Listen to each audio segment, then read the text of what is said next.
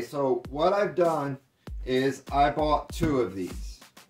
They do not supply any type of parts for this um, 3D printer. That was like the number one comment that I kept seeing repeated over and over and over again was, you know, where do we get parts at for it?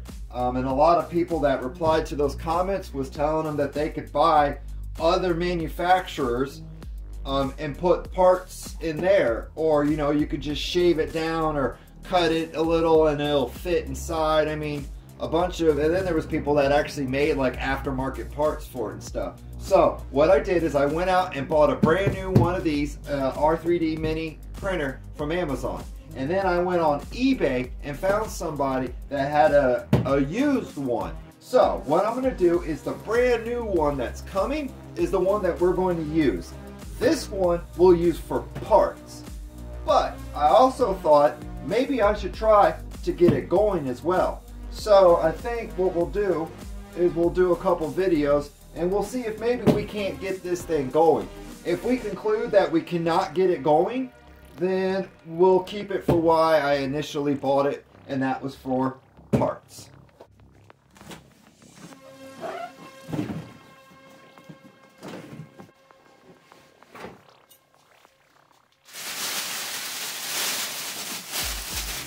Let's open it.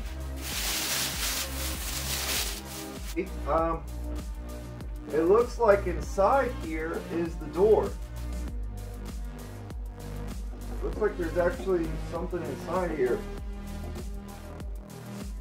Like a box and stuff. How do I, uh... How do I get it out of there? The bed is, uh, holding it down. Oh, well. Can manually, uh, turn the corkscrew and raise the bed.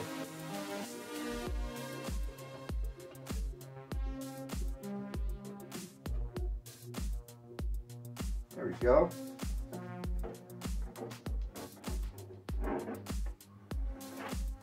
All right, so uh, that looks like the front piece. Uh, you know, I thought I saw it come with the front piece. So, front piece, that's kind of cool. Set up there. Oh, sweet. There's the top. Excellent, excellent. And then here is an accessory box. Um, has some accessories in it. Instruction manual, power cord. Uh, looks like there's an extruder in there and some kind of other little spare parts. Another bed. That's cool. Uh, there's like some, some metal brackets in here of uh, some kind and some screws and a USB reader. Alright, so this is one of the reasons why I bought this. So that way I would have all this spare stuff. And like I said, if, if, if we could, it'd be cool if we could get this one running. Uh, shall we plug it in and see what happens? And then I guess this front panel mounts like that. I bet that's what that hardware is. It's the hinges. Whoa!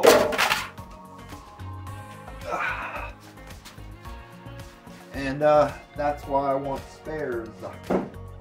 Okay, so the spool is inside here. You got like a, a feeder tube. This is cool. All this lights up. You got a digital touch screen down here. Check out the power button. Oh no, that's the light button. Turns the lights on and off. So that's cool. So like if you were running this in your room and you didn't want that light to like be in your room because you're trying to sleep, that makes sense. That's cool that you can shut it off. The, uh, the fans and stuff inside. All the motors, the wiring. This is awesome. I want at least two or three of these things. Nice tool. Back. I don't have any filament, so I can't exactly test it. Let's see, let's take a look inside. Uh, I guess this is how you adjust the bed. Cool. there's like the main ordeal right there. That's like the uh, the extruder and then you got the fans and stuff to keep it cool. So I guess one fan runs and then when it gets hot the second fan will kick in. This is really cool. Here, here's a uh,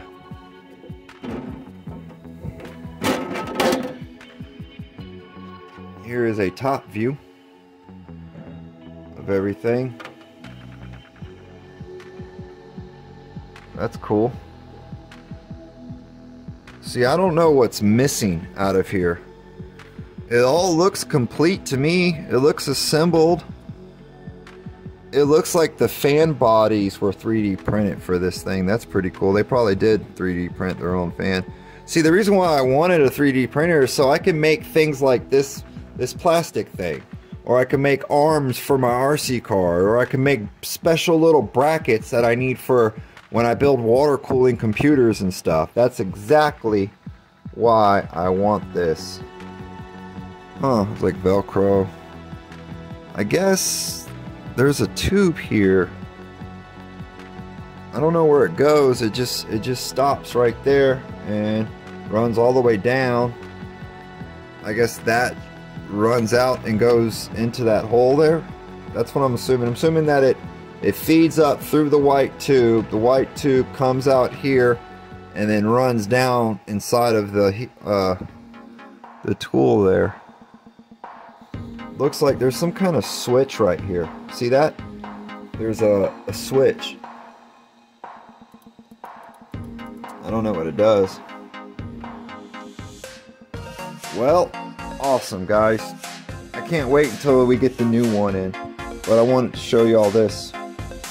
I was going to not do that. I was going to surprise you guys. What's underneath it? Nothing?